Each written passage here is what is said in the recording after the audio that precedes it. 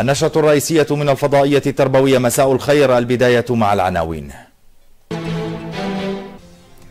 صدور نتائج الدورة الثانية لامتحانات الشهادة الثانوية المهنية للنقل البحري والمهنية الفندقية.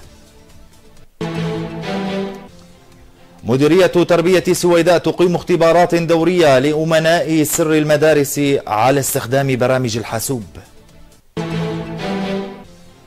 وزارة التعليم العالي والبحث العلمي تناقش التحضيرات والاستعدادات الخاصة بالمفاضلة العامة.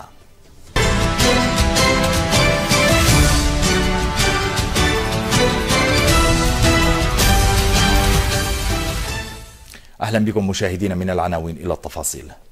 أصدرت وزارة النقل نتائج الدورة الثانية لامتحانات الشهادة الثانوية المهنية للنقل البحري في طرطوس واللاذقية. وبين مدير التعليم المهني والتقني بالوزارة خالد كمال الدين الشماط أن عدد الناجحين بلغ 233 طالبا باختصاص ميكانيك بحري وملاحة بحرية. لفت الشماط إلى أن تقديم الاعتراضات يبدأ من صباح الغد وحتى الخميس القادم في الثاني والعشرين من شهر آب الجاري.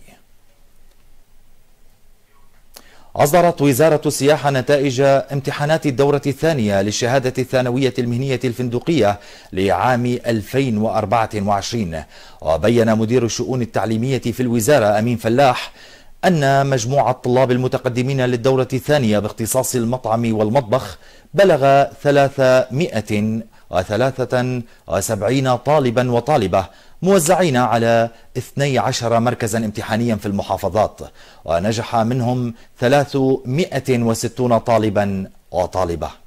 وفي السويداء قامت دائرة المعلوماتية في مديرية التربية اختباراتها الدورية لأمناء سر المدارس وأمناء قاعة الحاسوب في مدارس المحافظة لاختبار قدر قدرات ومهارات أمناء السر على استخدام برامج الحاسوب. والتعامل معه بالشكل الأمثل وتنفيذ العمل بالسرعة المطلوبة التفاصيل في التقرير الآتي. اختبارات دورية تقوم بها مديرية التربية في السويداء لأمناء سر المدارس وأمناء سر قاعة الحاسوب ضمن مدارس المحافظة. علق أمين سر قاعة الحاسوب في مجموعة شروط. بده يكون يعني معه شهاده آي سي دي إل وشروط أخرى. والاختبار هذا بيأكد لنا سلامة عمله ويكون يعني شخص مؤتمن على العمل اللي بده يقوم فيه بالمدرسة الاختبار ضروري لأنه دائما بيعطينا جوده بالعمل.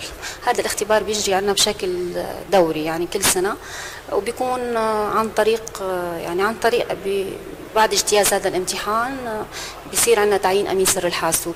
هذا الاختبار بيكون على شقين نظري وقسم عملي. النظري طبعا مؤتمت ضمن خيارات أما العملي بيشتغلوا عليه المتقدمين يعني على على الجهاز نفسه. اليوم عندنا امتحان مشان امناء سر الحاسوب بالمدارس كثير. هذا الامتحان ضروري تحديد المستوى المناسب. طبعا لمنه أي أحد من زملائنا بده يقود قاعة الحاسوب بأي مدرسة يكون عنده القدرة على التعامل مع الأجهزة يكون عنده القدرة على التعامل أو كيفية إيصال المعلومة للطلاب. فشيء ضروري هذا الامتحان يجتازوه زملائنا المدرسين. اختبار يعني الأسئلة حسيت الأسئلة يعني دقيقة يعني تقريبا اختصاص. يعني اللي دارس مثلا هندسة حاسوب اللي دارس دقيقة كثير الأسئلة كانت. ضمن عمل المدارس إيه أكيد لأنه في تنتيج علامات في حساب علامات عملي مثلا مواد علمية مواد أدبية لازم تتساوى الدورة هي للكل. يعني أمناء سر المدارس وأمناء سر الحاسوب. تأتي هذه الاختبارات للتأكد من قدرات ومهارات أمناء السر على استخدام أجهزة الحاسوب والبرامج بالشكل الأمثل. وإلى حلب تواصل مديرية التربية والجهات المعنية أعمال التأهيل والصيانة في المعهد الصناعي الثاني بحيي الجميلية ليكون جاهزا لاستقبال الطلاب مع بداية العام الدراسي. ضياء قدور والتفاصيل. تواصل مديرية التربية بحلب أعمال تأهيل وصيانة المدارس المتضررة جراء الزلزال والبالغ عددها. 1019 مدرسة في مدينة حلب وريفها بلغ عدد المدارس المتضررة من كارثة الزلزال 1019 آه، مدرسة قامت مديرية التربية بالتعاون مع المنظمات الشريكة ومن خلال الموازنة الاستثمارية في مدير آه، في دائرة الأبنية المدرسية أو مديرية الخدمات الفنية بالتخطيط لإجراء أعمال الصيانة لكافة المدارس. تم إجراء أعمال الصيانة ل 320 مدرسة حتى اللحظة. يوجد 33 مدرسة موضوعة ضمن الخطة سيتم البدء فيها تباعا. يوجد 8 مدارس حاليا تتم تنفيذ أعمال الصيانة فيها من ضمنها المعهد الصناعي الثاني آه، في منطقة الجميلية في حلب. من هذه المدارس المعهد الصناعي الثاني بحي الجميلية والذي بدأت أعمال الصيانة فيه قبل شهر بالتعاون بين دائرة الأبنية المدرسية والخدمات الفنية ومنظمة جي في سي. نحن حاليا بمعهد الصناعي الثاني آه، المتضرر من قبل الزلزال. آه، أعمال الصيانة في المعهد باشرت من حوالي شهرين. الأعمال هي عبارة عن أشر الطبقات المتشققة والجدران المتصدعة كشف العناصر الإنشائية المتصدعة إجراء أعمال تدعيم لهذه العناصر الإنشائية. وبالتزامن مع أعمال الإكساء من أعمال صحية أعمال كهرباء أعمال منجور معدني آه، خشبي وطبعا عزل السطح. ليتم إدخال المعهد الصناعي آه، بالخدمة. تم إعادة عمل إعادة ترميم للسطح وعزل بصفائح بيتومين بالإضافة إلى النوازل المطرية وأعمال إعادة تأهيل النجاره والاحداده والإدهان والزريقه وقواطع البلوك واضرار الناتجه عن الزلزال وكافة الشقوق الموجودة في المبنى.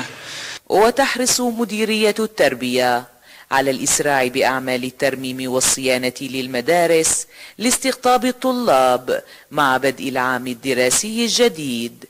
ضياء قدور الفضائية التربوية السورية حلب.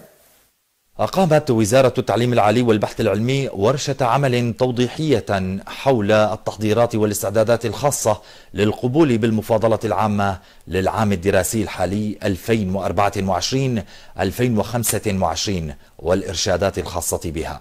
وأكد وزير التعليم العالي والبحث العلمي الدكتور بسام إبراهيم أن المفاضلة مستمرة هذا العام إلكترونيا إضافة إلى تجهيز مراكز لاستقبال الطلاب في كل الجامعات لتعريفهم بكيفية التقدم.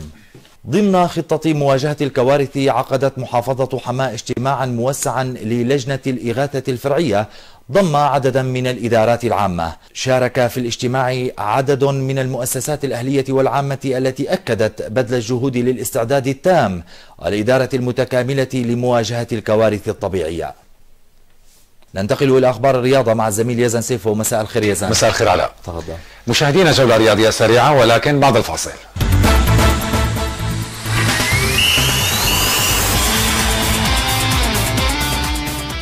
مساء الخير. استهل مانشستر سيتي موسمه في الدوري الإنجليزي الممتاز بفوز ثمين على مضيف تشيلسي بهدفين مقابل لا شيء في الجولة الأولى من المسابقة. وافتتح النرويجي إيرلينغ هالاند الذي خاض مباراته المئة مع السيتي التسجيل في الدقيقة الثامنة عشرة ثم جاء الدور على الكرواتي ماتيو كوفازيتش الذي دون هدفا مميزا ورائعا في الدقيقة الرابعة والثمانين من عمر اللقاء.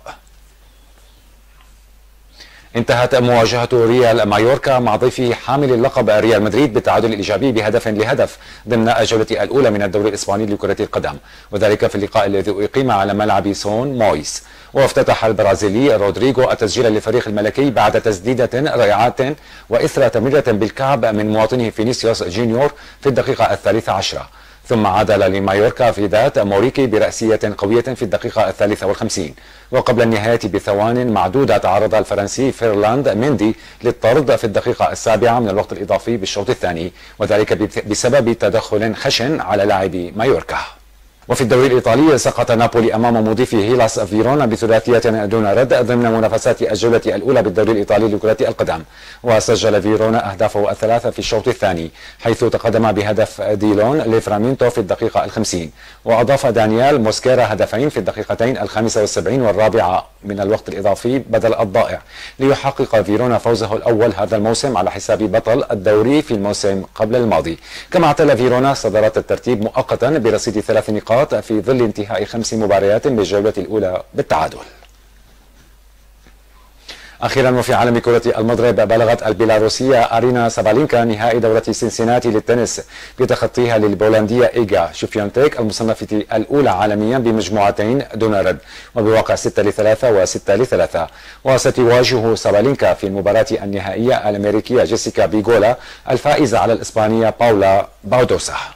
مشاهدينا كان هذا كل شيء اليوم في باقتنا الرياضية. أعود إليك علاء. شكرا لك شكرا لك. نهاية نشر هذا تذكير بالعناوين. صدور نتائج الدورة الثانية لامتحانات الشهادة الثانوية المهنية للنقل البحري والمهنية الفندقية. مديرية تربية السويداء تقيم اختبارات دورية لأمناء سر المدارس على استخدام برامج الحاسوب. وزارة التعليم العالي والبحث العلمي تناقش التحضيرات والاستعدادات الخاصة بالمفاضلة العامة. كان هذا كل ما لدينا لمزيد من الأخبار. زوروا صفحة الفضائية التربوية على الفيسبوك. دمتم بأمان الله. وإلى اللقاء.